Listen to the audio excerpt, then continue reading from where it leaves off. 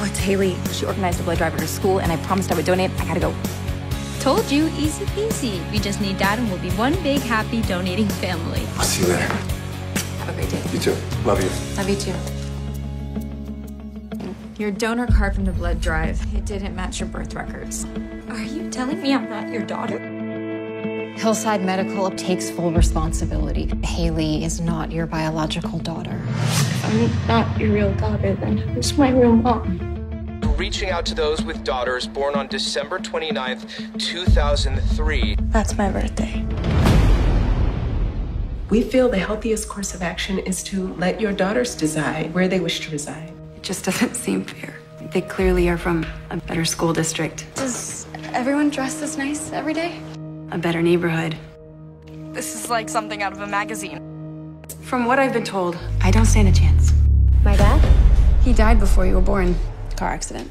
We found John alive. Brienne, I pretended he was dead to protect you. What else have you been protecting me from? Nothing! And I'm staying here! This is exactly what you wanted, isn't it? Make me look like the worst mother ever so you can take both of them. So we're here at the community center with my mom. Our mom. Yes. I'm just feeling guilty. I can't imagine what Alexis is going through. The car got vandalized last night. But if something's going on, you know you can tell me, right? I chased after him, then he tripped and he fell. You can stay here until you figure out a plan, okay?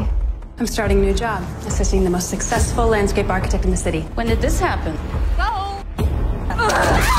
All these tragic events have happened. As a result, she's a great job. She's under our roof. Are we being naive? Now would be a good time for you to take that quick getaway. I would absolutely hold the fort down while you're gone.